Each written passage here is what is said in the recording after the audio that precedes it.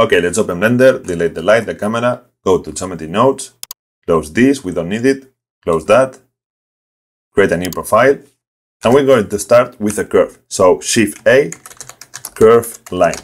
Let's connect it here, and I want to put it in this axis, in the green. So I'm going to put this 0 and, for example, 2 meters. So we have this straight line in the y-axis. Perfect. We need to put more cuts because this line only have two points, this one and this one.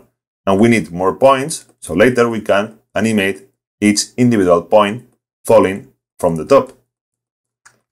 So to add more points, we need to put resample curve. And this number is the number of cuts where later we can put instance objects. Perfect. Let me put some order, Ctrl G, F2, curve line. Okay, so we want to change the position of this line. So we need a set position. And we want to offset the Z, this animation. So we need to do something here.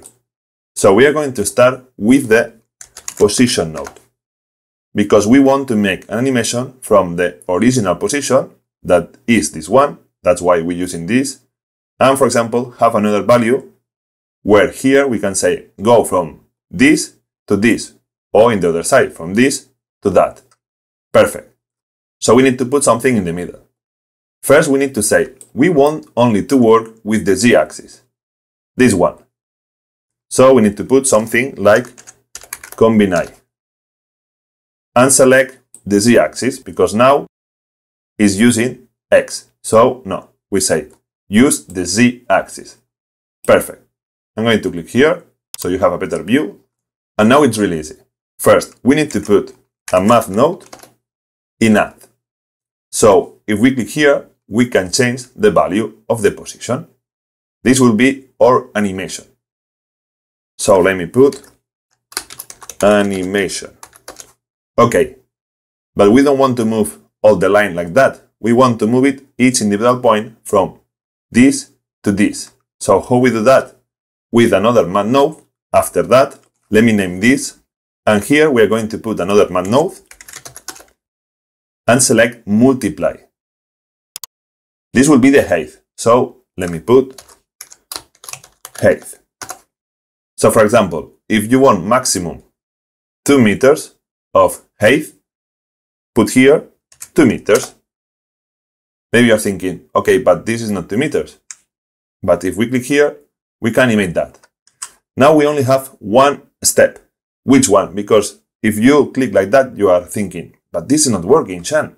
Don't worry, just click here, clamp. And now, look, if I put this in maximum, for example, one point, everything is in this value. So whatever you put here is the top.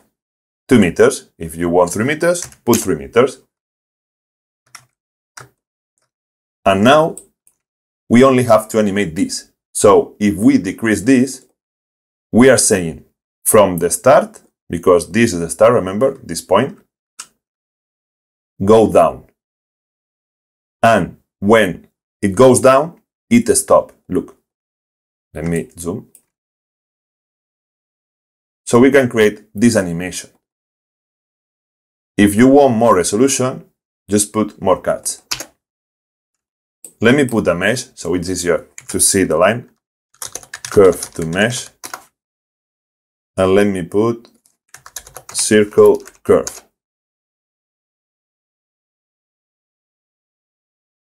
Something like 0.5. Something like that. Okay, so now you can see it better. Remember, this is the height and this is the animation. Let me put something like one value so it's easier to see. You can see that is really easy. It's really, really important that you click here. If not, it's not going to work. It's only doing this. So always click here, clamp. So to create this animation, just put, for example, one. One is like not doing anything. So we can create a keyframe here. Just press A. And for example, I'm going to make like in 100 frames to go down. So we are going to click here. I think it's minus one. I'll just put whatever value is going here. And now press again A to confirm. I'm going to make this shorter. And if we press play, we have this animation. Easy, right? Remember, if you understand this, now you can put objects. You can delete this and put objects. But first I want you to understand this. If you want to make this animation, for example, more like that, just put in the middle a float curve. So let me put some order. This here and this here. So if we put a float curve, now, if we let it like that, it's the same animation. However, if we change this, let me stop, look. We can change the curve transition. So this pattern is like the transition from the bottom to top. So you can play with that to create different animations. You can make it smoother By the way, I think this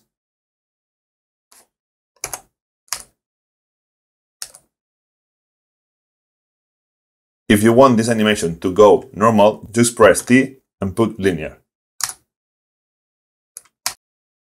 Remember, if you want more resolution, just add more points. Okay, you get the base. Now, let me delete this and let's convert the points to instance. Instance on points. And let's put, for example, something like cubes.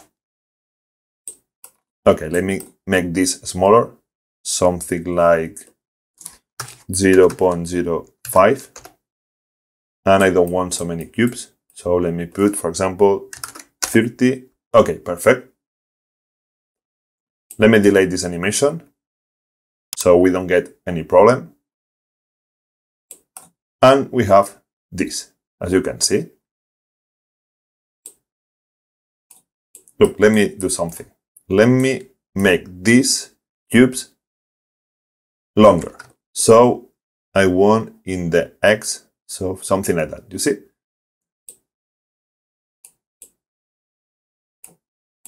Remember, this is animation. So we achieve this cool animation. If you don't want it so high, just make this smaller. For example, 0.5. Now you can play with different values like height, length, number of points, whatever, to create this cool animation like objects falling from the sky. To create this effect of building objects, path, etc. If you enjoyed this video, give a like, subscribe, and you can donate this project and many more in my Patreon. So, see you next video.